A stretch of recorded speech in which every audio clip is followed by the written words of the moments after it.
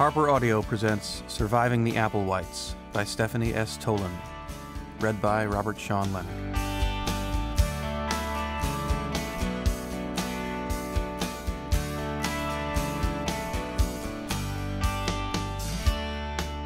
Chapter 1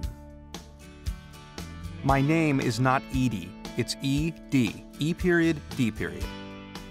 What kind of name is that? The boy slouching against the porch railing had scarlet spiked hair, a silver ring through one dark brown eyebrow, and too many earrings to count. He was dressed entirely in black black t shirt, black jeans, black high top running shoes. And the look in his eyes was pure mean. My kind, E.D. Applewhite said. She had no intention of telling this creep the story of her name. She could tell by looking at him that he'd never heard of Edith Wharton, her mother's favorite writer. Being probably the only almost 13 year old girl in the whole country named Edith, she had no intention of giving him even that little bit of ammunition to use against her. ED, she thought, was at least dignified, like a corporate executive, which one day she just might be. What kind of a name is Jake Semple? Two can play at that game, the boy's face said. Mine. Not an original bone in his body, E.D. thought, just a plain, ordinary delinquent. According to her friend Melissa, though, Jake Semple was famous. He had been kicked out of the public schools in the whole state of Rhode Island. Melissa wasn't sure what all he'd done to achieve that particular distinction, but the word around Traybridge was that one thing he did was burn down his old school. He'd come to North Carolina to live with his grandfather, Henry Dugan, a neighbor of the Applewhites, and go to Traybridge Middle School. The plan had not lasted long. No one in living memory had been thrown out of Traybridge Middle School but Jake Semple had managed to accomplish that feat in three weeks flat. At least the building was still standing. It was only the middle of September, and he had run out of schools that were willing to risk taking him. Mr. Dugan was inside at that moment discussing with E.D.'s parents, Uncle Archie, and Grandpa Zedediah the arrangement the two families and Jake's social worker had worked out for continuing Jake's education. Jake Semple was the first person Edie had ever met who had a social worker, she thought that was probably only one step away from having a probation officer, which is what Jake's parents would have when they got out of jail. That was why Jake had a social worker, because his parents were in jail for growing marijuana in their basement and offering some to an off duty sheriff's deputy. E.D. didn't know how long they were going to be in jail, but at least a year. She figured criminal tendencies ran in families. The kid had burned down his school just after his parents were arrested. E.D.'s Aunt Lucille was a poet and had been conducting a workshop at Traybridge Middle School when Jake was kicked out. This whole terrible idea had been hers. She'd told Mr. Dugan about the Creative Academy, which was what E.D.'s father had named the Applewhite Home School.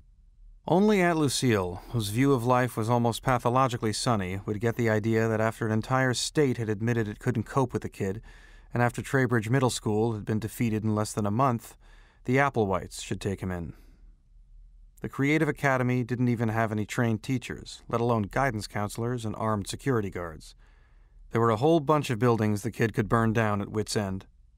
The main house, all eight cottages, the goat shed, a tool shed, and the barn. But somehow Aunt Lucille had convinced everybody else. E.D. had been the only family member to vote against letting Jake Semple join them. She'd begged her grandfather, who usually had more sense than all the rest of the family combined, to put a stop to the idea. You know how Aunt Lucille can't ever be a bad thing about anybody, she'd told him. Her attitude about people is downright dangerous. He'd only twiddled with his mustache and said that he rather envied Lucille's rose colored view of things. More often than not, I've noticed it turns out to be true. Then, he had declared, taking Jake Semple in a noble and socially responsible thing to do. Noble and socially responsible, more like suicidal, E.D. thought. She had thought that even before she'd laid eyes on Jake Semple. Now she was sure of it. Jake pulled a cigarette out of a pack in his t shirt pocket. Better not light that thing, she said, thinking about lighters and matches and very large fires. Wits End is a smoke free environment. The boy reached into his pocket and pulled out a yellow plastic lighter. You can't have a smoke free environment outdoors, he said. We can have it anywhere we want. This is our property, all 16 acres of it. Jake looked her square in the eye and lit the cigarette. He took a long drag and blew the smoke directly into her face so that she had to close her eyes and hold her breath to keep from choking on it. Then he said one of Paulie's favorite phrases. No one had managed to break Grandpa's adopted parrot of swearing. Edie suspected that they wouldn't have any better luck with Jake Semple. Chapter 2 So far, so good, Jake thought. This girl was bugged by cursing and smoking. He had news for her. He intended to do a whole lot of both. He took a long drag on his cigarette and blew the smoke at her again. She turned away and moved down to the other end of the porch steps. Doesn't bother me, girl. You can bug off completely as far as I'm concerned. Jake hadn't been any more than two years old when he found out how certain words affected people. It had surprised him considerably since his parents used those words at home all the time. He'd learned them the same way he learned all the other words he knew. People didn't make a fuss when his parents used them, but once he'd seen how some adults reacted to those words when he said them, it had become a game. He could still remember the old woman with the mean, pinched up face who told him to take his sticky fingers off the display case when his mother took him to the bakery to get a cake on his third birthday. He had smiled his best little boy smile and said just two words. The woman had gone all white and slumped down right to the floor. The image was as clear in his mind now as if it had happened yesterday, the way she'd just disappeared all of a sudden from behind the counter. All the fuss and furor afterward had made a permanent impression on him, Nobody could ever tell Jake Semple words didn't have power. If the rest of the Applewhites were anything like this girl, he thought, he ought to be able to bug them quite a lot for however long he was going to be stuck with them. He leaned back against the support post behind him and watched the smoke float out from his nostrils. He hated adults making decisions for him and expecting him to just go along with whatever they said. His parents had tried that and given up. But because of that big mistake they'd made with the sheriff's deputy, they'd been carted off to their separate minimum security prisons, and he was stuck with a bunch of strangers who didn't get it, that he wasn't going to do what he didn't want to do. He would just have to show them. He intended his time here to be even shorter than his time at Traybridge Middle School. The smoking part was going to be a problem, though. This was his last pack of cigarettes. It was miles to town, and out here in the North Carolina boonies there was no such thing as a bus. He squinted against the smoke that was blowing back at him now. Maybe, since there were tobacco fields along just about every road, he could tear off a few leaves and learn to roll his own. He was pretty sure this girl had been told to keep an eye on him while his grandfather was inside, to make sure he didn't set fire to the porch or something. She wasn't much to look at, not much shape yet, still as much like a boy as a girl, and the chopped off hair didn't help much. She was sitting there now with her scabby elbows on her scabby knees, staring off down the driveway. Jake couldn't see the main road from here, the way the drive curved around a row of trees and bushes, but out there was a wooden sign with Wits End spelled out on it with bark covered twigs. Quaint and rustic and weird. Jake had never known anyone who named their house before. His grandfather said the place had had a name ever since he was a kid, it had been a farm till it went bust, and somebody bought it, built a bunch of scruffy little cabins up against the woods, and turned it into a motor lodge. They'd named it the Bidewee, added an office wing, and lived in the big two story house. Then the Applewhites, all artsy types, his grandfather said, had moved down from New York and bought it. The scruffy little cabins were still there, but now the house was part house and part school. There were four Applewhite kids, but Jake had only met this one so far, this AB or CD or whatever her name was. Being homeschooled, the Applewhites hadn't been to Traybridge Middle School during what he liked to think of as the Jake Semple reign of terror. He wondered what the others were like. Suddenly there was a scream from somewhere off to the right of the house. A brown and white German shepherd sized animal with huge lopsided horns came tearing around the end of the porch and down toward the road. A long piece of white cloth with flowers on it streamed from its mouth and dragged on the ground, almost tangling in its legs as it ran. Right behind it, shouting at the top of her lungs, came a tall, barefoot girl in a black leotard. Jake nearly choked on the smoke he had just inhaled. This one was easy to recognize as a girl. He thought she might be the most gorgeous girl he'd ever seen. She was running at first, her long, wavy auburn hair streaming out behind her but she started hopping from one foot to the other when she reached the gravel drive. From then on, her shouting kept getting interrupted by little yelps of pain. The animal she was chasing was a goat, a smelly one. As fast as it had galloped by, it had left its odor very clearly on the air. Goat and girl disappeared around the bend in the drive, but the shouting and yelping went on, getting fainter and fainter. Cordelia, the girl on the step, said, and Wolfie. What's all the fuss? Jake's grandfather came out of the house, a fat dog, a basset hound, with ears so long it nearly walked on them with every step, waddling at his heels. The Applewhite adults were right behind. The oldest of them, a wiry old man with white hair and a droopy white mustache, pushed his way through the others and headed straight for the wooden rocking chair in the corner of the porch. On his way, he snatched the cigarette out of Jake's hand so fast Jake didn't know what had happened till it was being ground out on the porch floor under the old man's shoe. Smoke free environment, he said, and sat down on the rocker. Remember that. Everybody on the porch, including the basset hound, was looking at Jake, and he felt his face starting to heat up. He looked off the way the goat and the girl had gone, whistling under his breath to let them know that he didn't care. Not at all. The breathtaking girl in the leotard was picking her way back along the driveway, carrying what was left of the flowered material as if she had a dead baby in her arms. It was smudged with red brown dirt and dotted with burrs. I'm going to murder that goat one of these days, she said.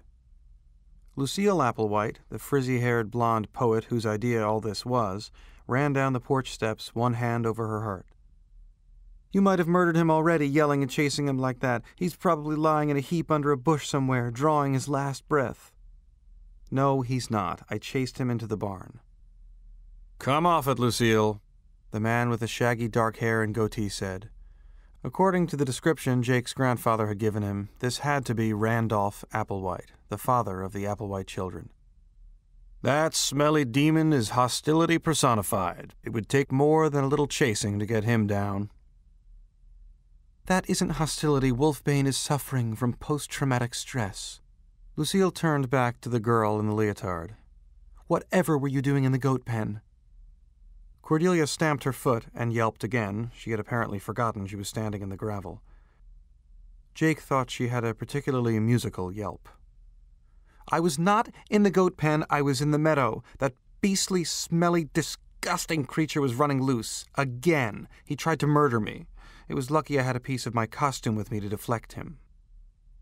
Lucille let out a squeal. Loose? He was loose? What about Hazel? Where's Hazel?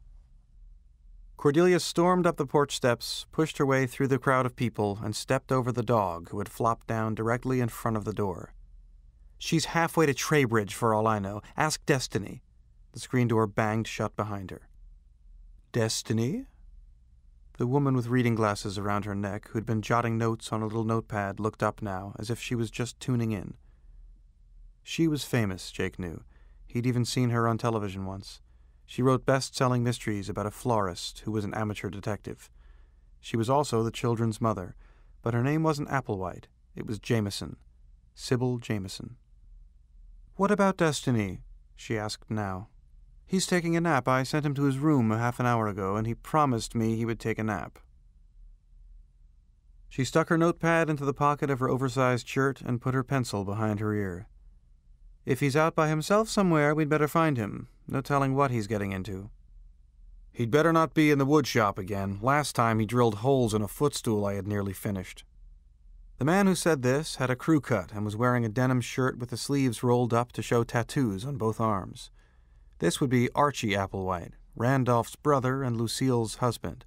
He and the old man both made wooden furniture. Knowing your work, I can't believe it made much difference, Randolph said. What are a few drill holes, more or less? You're just jealous because I have a gallery show coming up and you're out of work, again. Stop arguing and help me find Hazel, Lucille said. If she gets out on the road, she'll be killed. Jake hadn't heard a single car go by the whole time he'd been here. Whoever Hazel was, she didn't seem likely to get run down the minute she set foot on the road. In a matter of moments, Jake found himself alone on the porch with his grandfather, the old man with the mustache, and the dog. The others had gone off in different directions, Lucille and Archie yelling for Hazel, the others yelling for Destiny. When the voices faded away, it was quiet on the porch, except for the snoring of the dog. The old man stuck out his hand toward Jake. Zedediah Applewhite, patriarch of the Applewhite clan, he said. How do you do? Jake looked at the wrinkled, spotty, knobbly old hand. He was not about to shake the hand that had snatched one of his last precious cigarettes. But he didn't have a choice. The old man grabbed his hand and shook it in both of his, nearly crushing Jake's fingers in an amazingly powerful grip. Welcome to Wits End, Furniture Factory, Gallery, Studio, Goat Compound, and Creative Academy, Zedediah Applewhite said. When the old man let go, Jake shook his hand to make sure the blood could still get to the tips of his fingers. Then he said a few of his favorite words, just loud enough to make sure they were heard. Zedediah Applewhite didn't so much as blink. You ought to spend a little time with Cordelia, he said. She's taught my parrot the French. We hope you enjoyed this preview. To continue listening to this audiobook on Google Play Books, use the link in the video description.